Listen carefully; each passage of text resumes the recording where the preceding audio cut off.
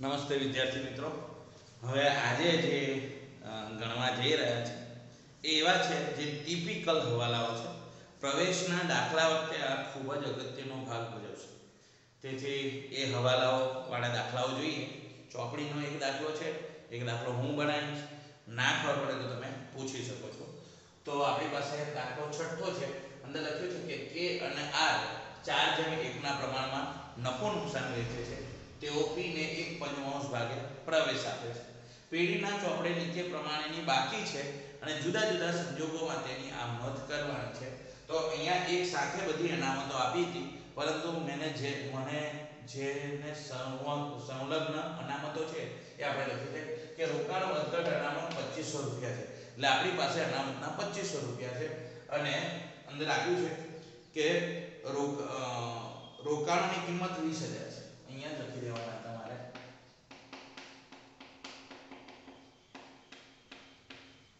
દેખાય છે જોઈ લો યસ તો રોકાણ વધઘટ અનામત પચીસો છે એ સમયે રોકાણો વીસ હજાર છે હવે રોકાણોની કિંમત નીચેના સંજોગોમાં થાય તો આપણે શું અનુમત કરવાના છે તે આપણે કહેવાનું છે તો આપણે ત્રણેય સંજોગો લઈ લઈએ કે રોકાણની કિંમત ઓગણીસ પાંચસો હોય, બાવીસ હજાર હોય, અને ત્રીજી લઈ લઈએ, નહીં કયું હોય. કેટલી રાખી લઈએ? ખાસ ધ્યાન રાખજો. તો પહેલું, રોકાણ વધઘટ અનામત પચીસો છે. આપણી જોડે રોકાણોની કિંમત વીસ હજાર છે. હવે રોકાણોની બજાર કિંમત ઓગણીસ પાંચસો થઈ. તો રોકાણો હતા કેટલા? વીસ હજાર કેટલા થઈ ગયા? ઓગણીસ પાંચસો. કેટલા ઘટ્યા? પાંચસો રૂપિયા. તો જે પાંચસો રૂપિયા ઘટ્યા એ નુકસાન કર્યું. તો એ નુકસાનની વ્યવસ્થા આપણે શામાંથી કરવાના છે? રોકાણ વધઘટ અનામતમાંથી પાંચસો લઈ લઈશું.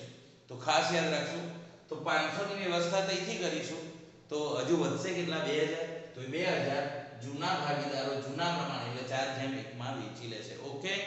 પડી ફરીથી. જે પચીસ રોકાણની કિંમત હતી વીસ હજાર હવે એની બજાર કિંમત થઈ ગઈ છે ઓગણીસ પાંચસો. એટલે પાંચસો રૂપિયા ઘટ્યા. તો એ પાંચસો રૂપિયા નુકસાન થયું. એ આ પચીસોમાંથી વ્યવસ્થા કરી લઈશું. તો પચીસોમાંથી પાંચસોની વ્યવસ્થા કરી લીધી. કેટલા રૂપિયા? વધ્યા બે હજાર. તો બે હજાર એ બે ભાગીદારો કે અને આ જૂના પ્રમાણમાં વેચશે. લખીએ તો પહેલી કન્ડિશન કે બજાર કિંમત કેટલી થઈ ગઈ?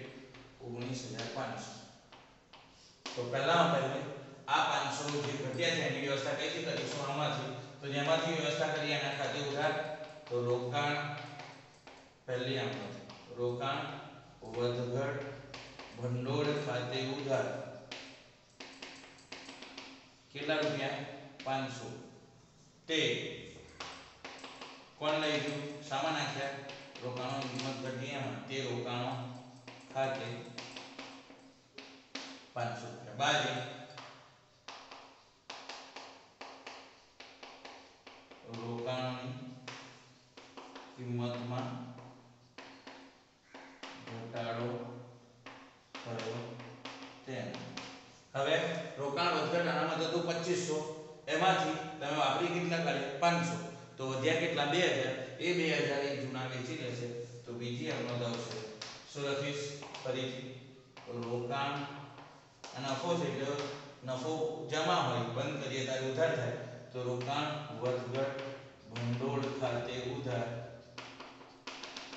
કેટલા રૂપિયા બે હજાર તે કેના મૂડી કે ચાલુ ખાતે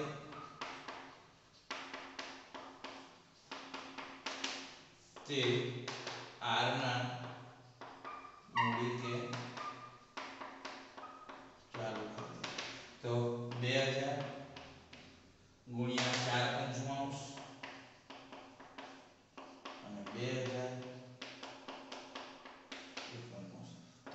ચાર વીસ ચાર ચાર સોળસો. ચારસો. તો આ રીતે બાજુ રોકાણ વધઘટનો રોકાણ વધઘટ અ, ભંડોળ રોકાણ વધઘટ ભંડોળ જૂના પ્રમાણમાં વેચવું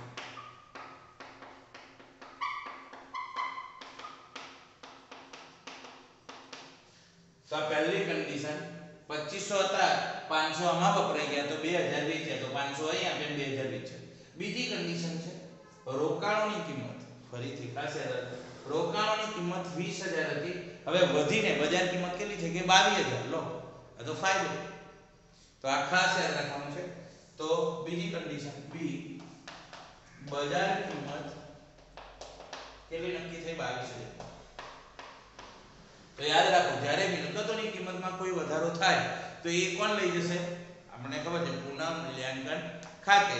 તો પુનઃ મૂલ્યાંકન ખાતે એની અસર આવશે. તો હવે બજાર કિંમત થઈ ગઈ છે બાવીસ હતી વીસ, થઈ ગઈ બાવીસ, તો બે હજારથી વધારો થયો, એ લઈ કોણ જશે? પુનઃ મૂલ્યાંકન ખાતું. આપણે કાલે શીખ્યા કે મિલકતની કિંમતમાં વધારો થાય તો ક્યાં લખીશું તો પહેલી અસર આવશે શું લખીશું? રોકાણોની કિંમત વધી. તો રોકાણો ખાતે ઉધાર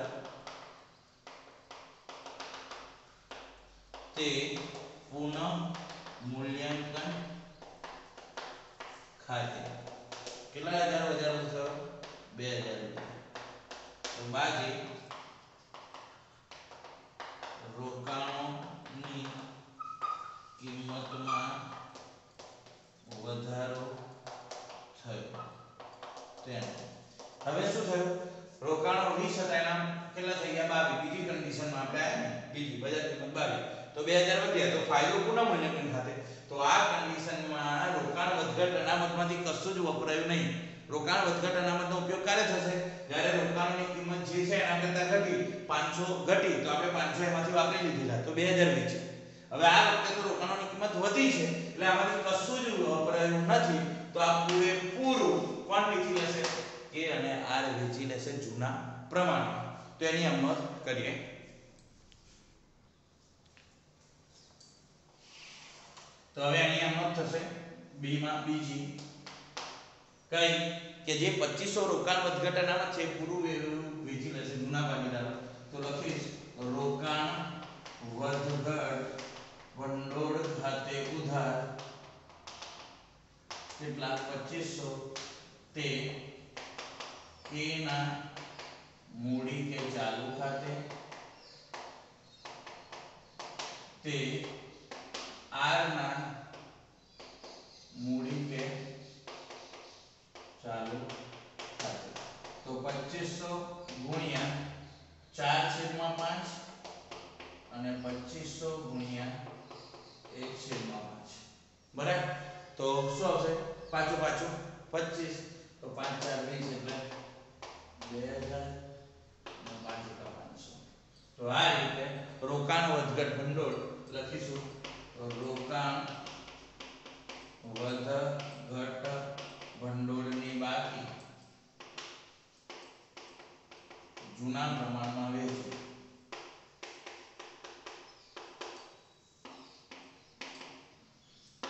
તો આ બીજી કન્ડિશન રોકાણોની કિંમત 20 ની વધીને બજાર કિંમત 22000 થઈ. તો પહેલી કે 2000 વધારો થયો, તો મિલકતની કિંમતમાં વધારે વ્યવસ્થિત વધારો થયો, તો પુનઃ મૂલ્યાંકન ખાતે જમા કરો બી અને જે 2500 રોકાણ વધઘટનામાં હતું, એ જૂના પ્રમાણમાં દીધું હવે આપણને આ બે પ્રશ્નો પૂછેલા હવે ત્રીજી કન્ડિશન ત્રીજી કન્ડિશન સી. આપણે અંદર આપેલી છે. મેં કહ્યું હતું 20000 આપણે જાતે બનાવેલી છે. શું આવશે? કે જો સોરી રોકાણોની બજાર કિંમત તો આ વેરી ઇઝી હવે રોકાણોની, રોકાણો હતા કેટલા? 20000 હવે બજાર કિંમત કેટલી છે? 20000 એટલે ના વધારો થયો, ના ઘટાડો થયો. એટલે આપણને કોઈ નુકસાન ગયું નથી. તો હવે પેલા જે 2500 વધેલા, રોકાણ, વધ, ઘટ, ભંડોળના કેટલા છે? આપણને ખબર છે, કેટલા? 2500 તો રોકાણોની કિંમત 20000 હતી. હમણાં પણ કેટલી થઈ? 20 એટલે કોઈ ફેરફાર થયો નહીં. તો ફાયદો નહીં નુકસાનય નહીં. તો નુકસાન ના ગયું હોય, તો 2500 એ 2500 જૂના ભાગીદારો વેચી લેશે. એટલે ઉપરની આમત ફરીથી આવશે. શું આવશે? એટલે પેલી રોકાણોની કિંમતમાં વધારા ઘટાડાની કોઈ નોંધ નહીં આવે. કારણ કે ના વધારો ઘટાડો થયો છે, તો 2500 વેચી લેશે. તો શું લખાશે? રોકાણ વધઘટ. ભંડોળ ખાતે ઉધાર 2500 તે કેના મૂડી કે ચાલુ ખાતે બે હજાર તે આર ના મૂડી કે ચાલુ ખાતે પાંચસો બાજે રોકાણ વધઘટ ભંડોળ ની બાકી જૂના પ્રમાણમાં વહેંચી ઓકે? તો આ રીતે જો 20000 હોય તો જ આવે. પરંતુ એક હવે અંદર નથી, પણ તે છતાંય મને યાદ આવ્યું કે એક જુદું રાખવું જોઈએ કે આપણી પાસે 2500 છે. આપણી પાસે નુકસાનને પહોંચી વળવા માટે રોકાણોમાં કેટલા રૂપિયા છે? પચીસો. પણ એનાથી વધારે કિંમત ઘટી જાય તો? તો એવી કન્ડિશન આપણે લઈએ. તો લખીશું, રોકાણોની બજાર કિંમત પંદર હજાર થાય. હવે ખાસ ધ્યાન રાખજો. રોકાણોની ચોપડી કિંમત કેટલી છે? આપણને ખબર છે. રોકાણોની ચોપડી કિંમત કેટલી છે? વીસ હજાર રૂપિયા. તો રોકાણો છે વીસ હજાર ના ઘટીને કેટલા થઈ ગયા? પંદર હજાર. હવે પંદર હજાર થયા એટલે ઘટાડો કેટલો થયો? ઘટાડો કેટલો થયો? પાંચ હજાર. તો આપણી જોડે તો કેટલા પડ્યા છે? નુકસાનને પહોંચી વળવા 2500 છે. નુકસાનને પહોંચી વળવા આપણી પાસે 2500 છે અને ઘટાડો કેટલો થયો છે? પાંચ હજાર. તો હજુ ખૂટ્યા 2500 તો એ બીજા 2500 જે ખૂટ્યા, એની વ્યવસ્થા આપણી આપણું રેગ્યુલર નફા ખાતું હવે કયું ગણાશે? પુનઃ મૂલ્યાંકન ખાતું. તો આ રીતે નોંધ થશે. જોજો. એ, પહેલી, સામાન્ય રોકાણ વધઘટ અનામતમાંથી રોકાણ વધઘટ અનામત ખાતે ઉધાર. ત્યાંથી કેટલાની વ્યવસ્થા થશે? 2500 બીજા ખૂટ્યા, એની વ્યવસ્થા કઈથી કરવાના છે?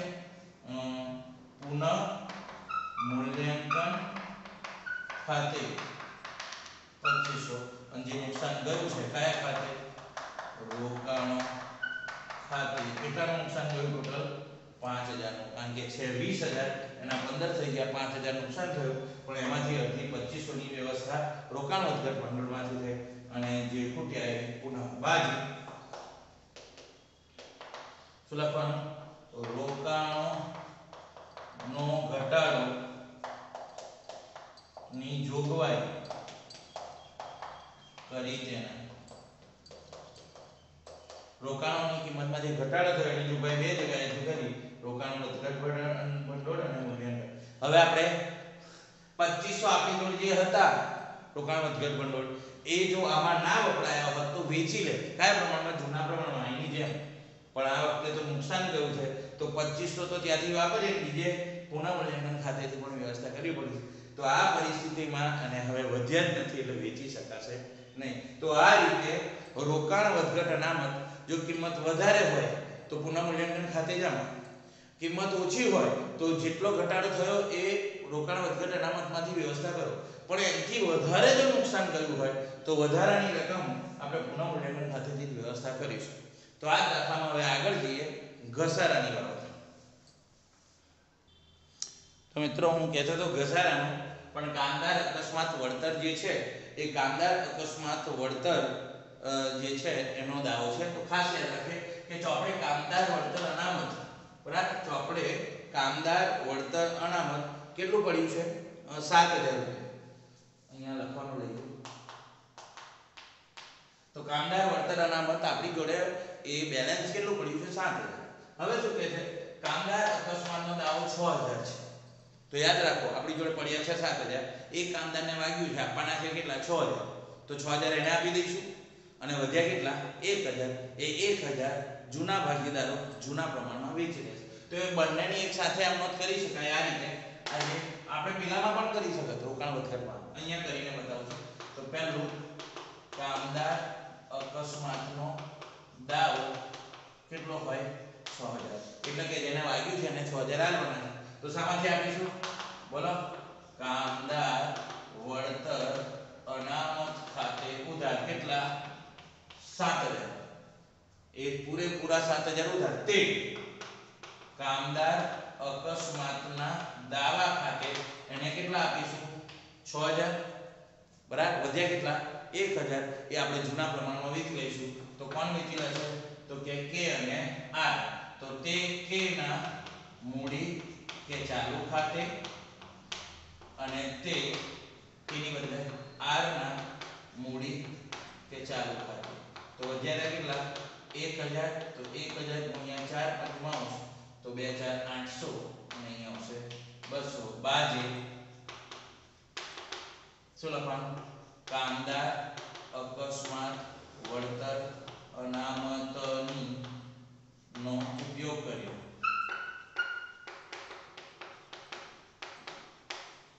તો આ રીતે હતું કામદાર અનામત સાત હજાર, વાગ્યું છ હજારનું.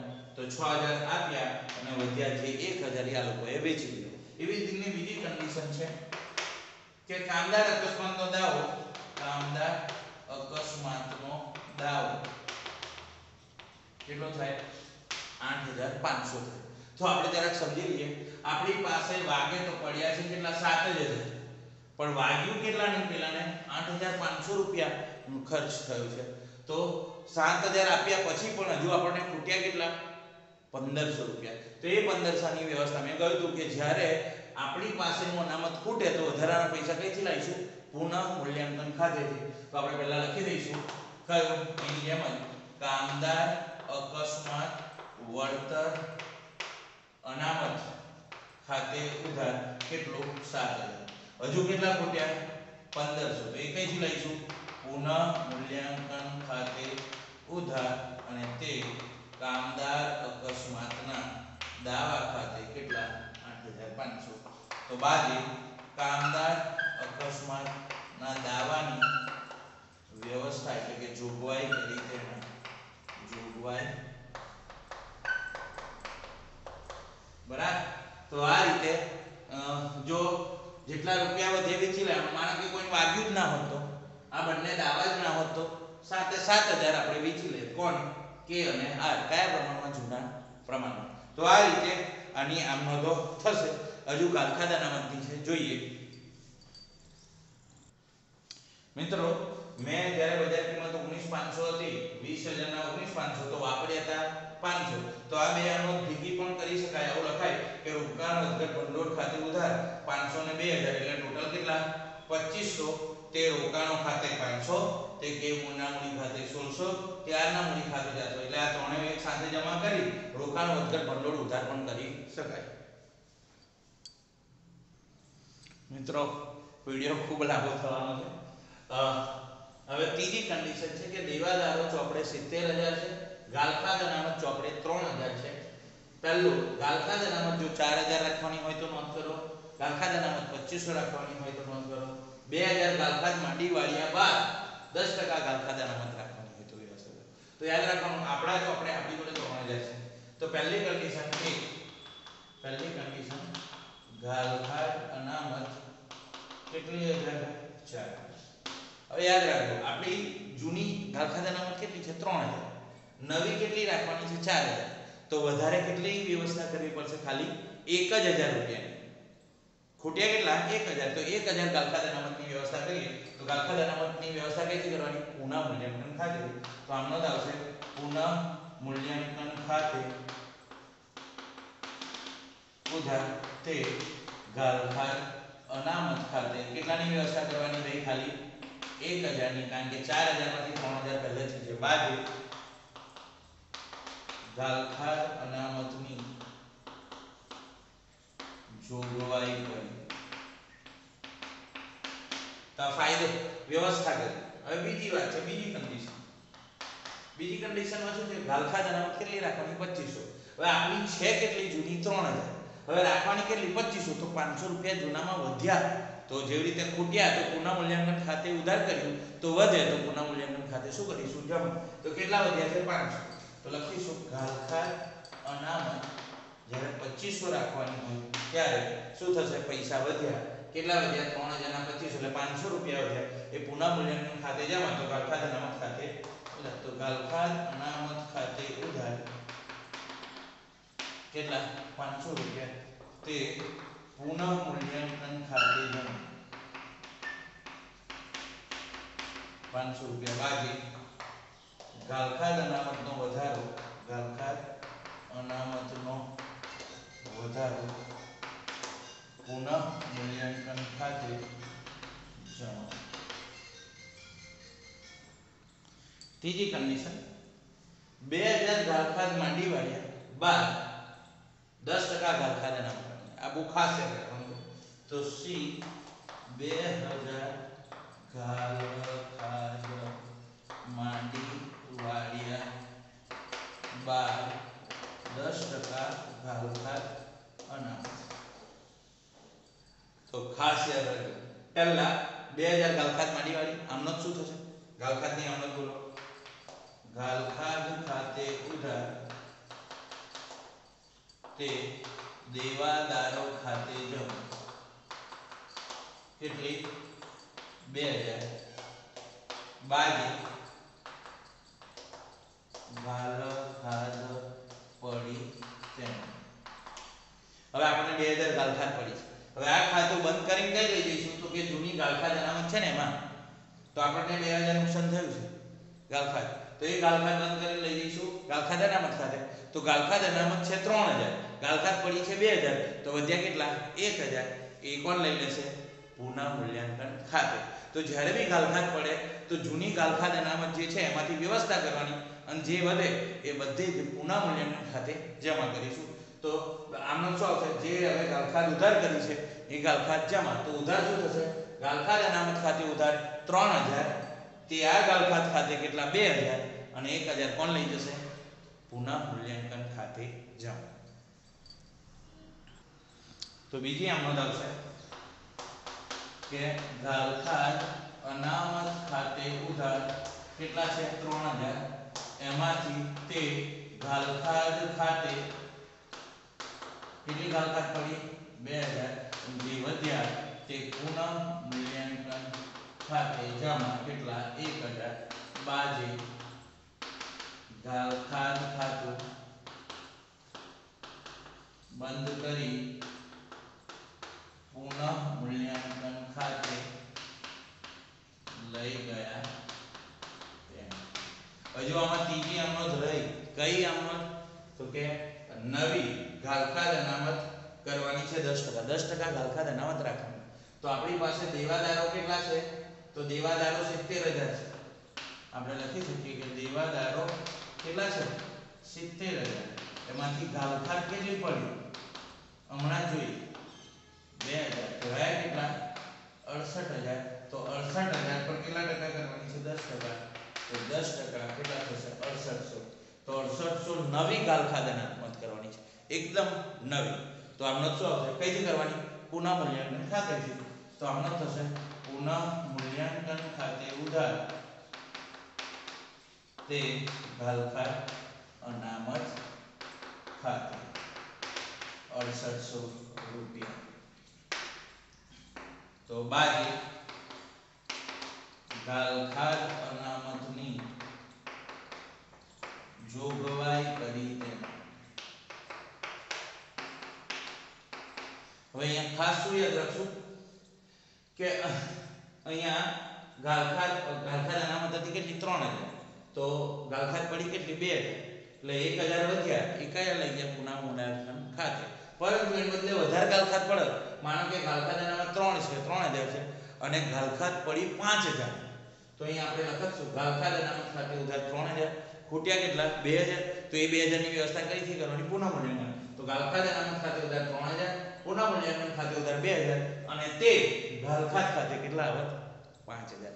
એવું થાય, પણ આપણે આજે આટલે રાખીએ છીએ. ખૂબ લાંબો વીડિયો થઈ ગયો છે, આવડશે એવું મને લાગે છે, કારણ કે વ્યવસ્થિત વ્યવહાર મેં